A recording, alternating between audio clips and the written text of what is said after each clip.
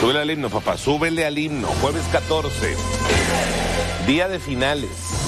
Final de Tigres y final de Fuerza Regia. Y en el mismo polígono, ahí, ahí.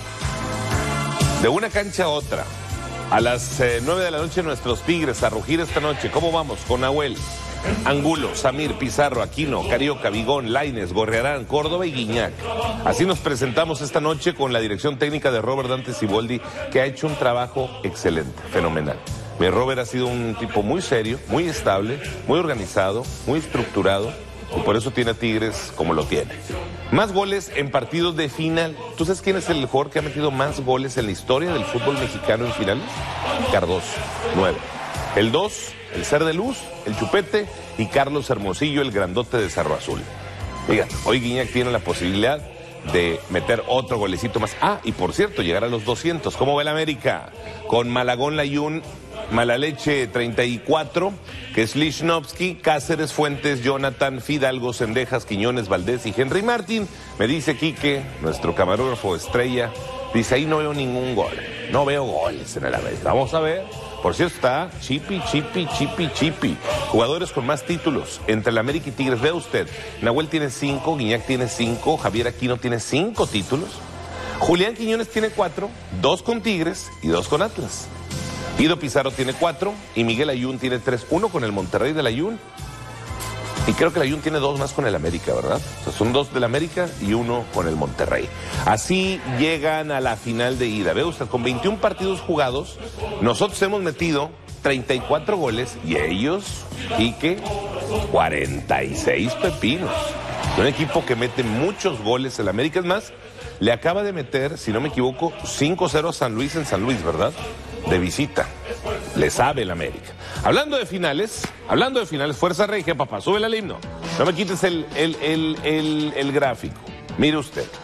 Hoy jugamos el quinto partido de la serie y vamos 3-1 ganando. 3-1 ganando.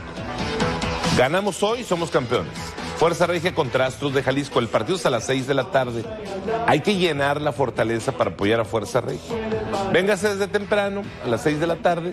Llegue un poquito antes. Disfrutemos el partido. Salimos campeones si Dios quiere. Y de ahí nos pasamos a la cancha de Tigres. ¿Qué te parece? Muy bien. Entonces, 6 de la tarde, compra tu estacionamiento en Parkit para que no batalles. Está el estacionamiento para Fuerza Regia y está el estacionamiento también para el partido de Tigres. Parkit, entra a la página de Parkit o a sultanes.com.mx. Mucha suerte. 6 de la tarde, transmite canal 6 Delay, Fuerza Regia. Vamos con todo para tratar de ganar.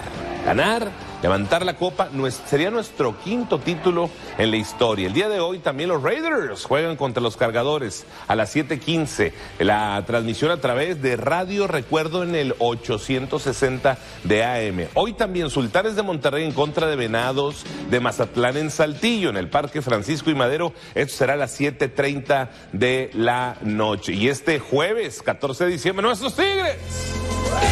9 de la noche. Esto es lo que tenemos el día de hoy en evento.